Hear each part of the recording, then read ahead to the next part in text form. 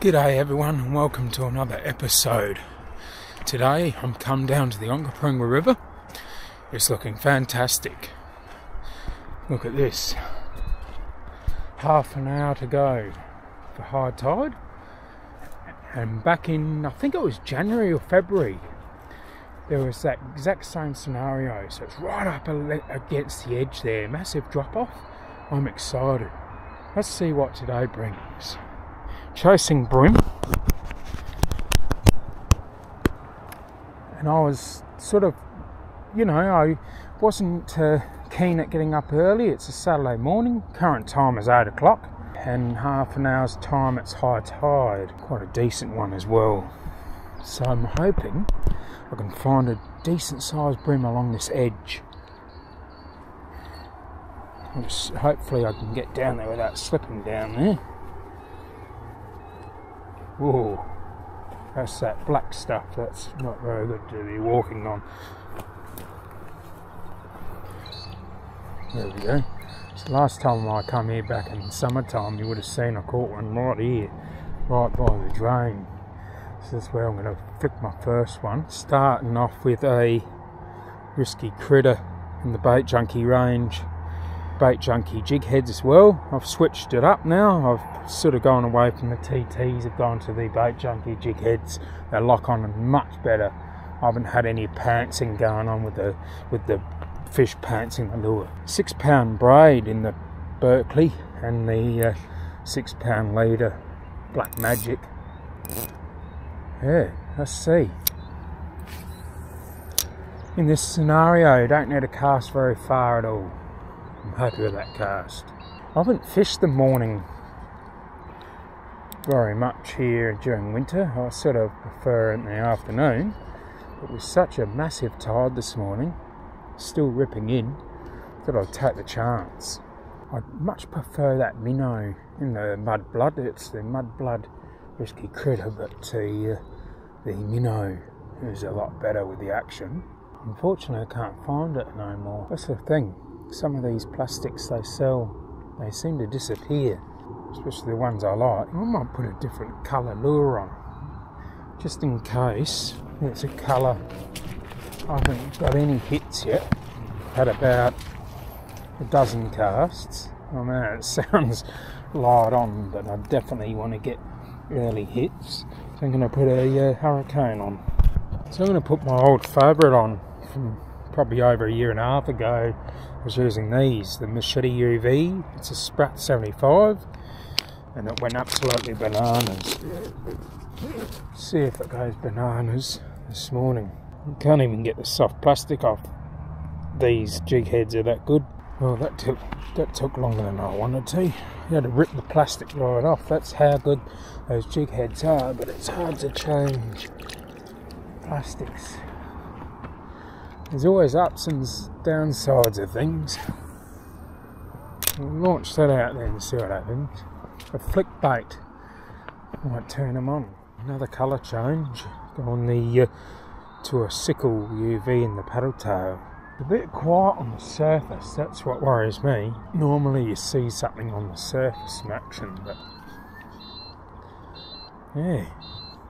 The Onk is a funny river.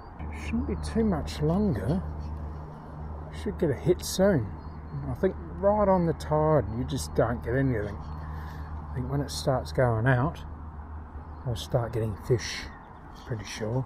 In fact, in winter time, I have caught most of my fish in the afternoon. It could be a long day. Up, I didn't get the hook up, but finally. Yes, we're on the board. Not a bad start. Only took an hour. But we're on the board. There you have it. Nice one pinned in the front of the. God. Don't normally pin get pinned in there.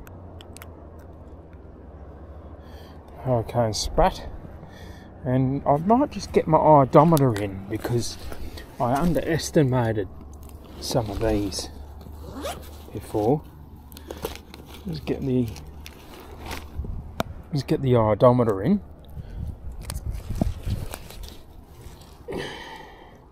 So it's a 26 centimetre bream. Nice clear water. Look at that. See you later. You ripper. Yes! On the board. It took over an hour to get the first fish, but not a bad hit. Unfortunately, didn't get a hook up on camera because I'm not filming for an hour and a half. But that was on that bait junkie, uh, not bait junkie, Hurricane Sprat paddle tail. That's the Sickle UV. Go and check that. Those lures are pretty good. I, I, I'm in love with them actually when they work. but yeah, no, got smashed on the uh, Hurricane Sprat. Well, that was a bit of a walk. This is the. Uh, I don't think I've fished here before. I'm not sure. I can't remember what I did when I was growing up. Anyway, um, haven't caught a bream since 9:30 this morning. So I've tried various parts of the river different lures. I think it's been four and a half hours since I've had a fish. So, just hope the afternoon brings me something. I've gone the uh, watermelon grub now, I'm getting desperate. So I'm putting the grub on. I've never fished this side before. Not this side up. Not near Perry's Bend. Might lose a lure yet. It might be snaggy as all sorts over here. Well, I've had lunch. Got a new container of scent. So we'll see how we go.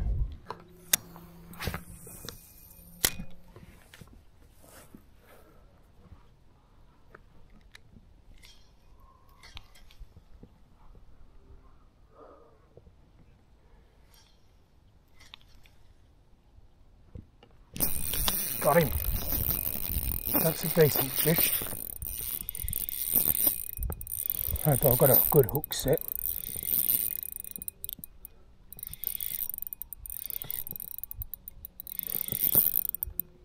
Yes. Nice bream.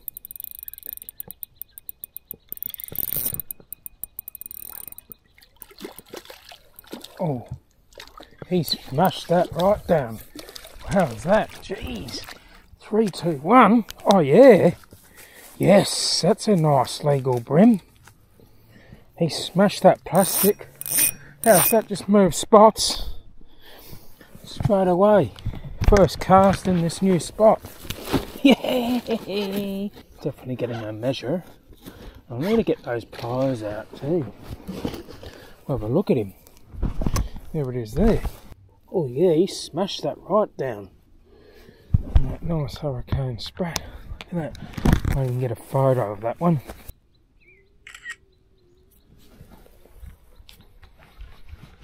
I reckon that's close to 30 centimetres. No, I'll go 20, oh, maybe 29. Yeah, 29 and a half. If not 30. well, there you go. It was bloody basically a 30 centimetre first cast in this little ledge here. You rip, I was falling asleep. I will send him away back without hurting myself. There we have it. Nice fish. Put him back. Been about five hours since I got one. When can I get down here somewhere?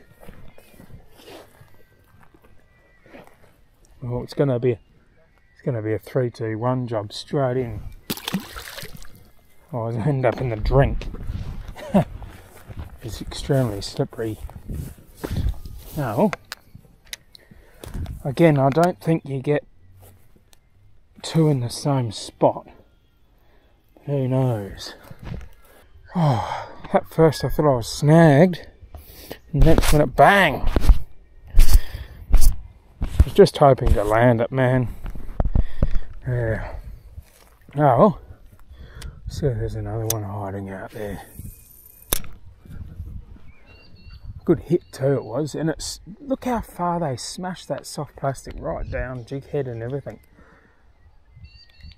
Oh, I think I found a patch of them. A whole heap of people just here fishing. Maybe they chucked in some burley. Almost had two bream and two casts. Go back out there unless I'm running over a snag or something. But as soon as it hit the water, the tide has just turned. It's on its way back in again. It's just gone low tide about 15 minutes ago. So that's amazing, isn't it?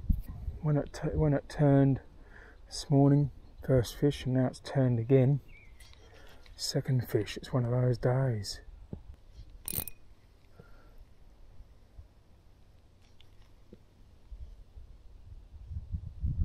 Reckon I'm running over a snag and that's how I pulled that fish out. That wouldn't be fish every time there. I reckon that's a snag. One more fish to make a session, I think. I like three. It's good to finish off with three. Scoop the fish out there.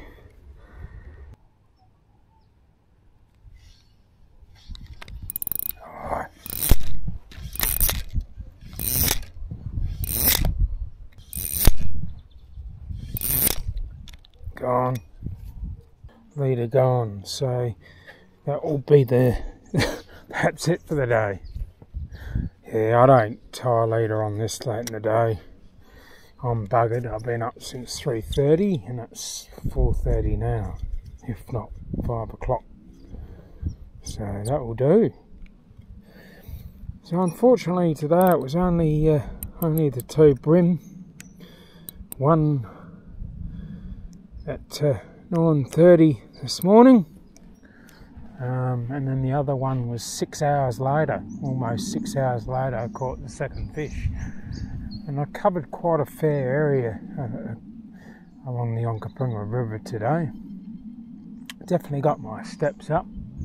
Probably walked about six kilometres all up and tried various lures but the one that got the job done today was the paddle tail the sickle UV by Hurricane Sprat. Got to be happy with that. So until next time, catch us in the next one.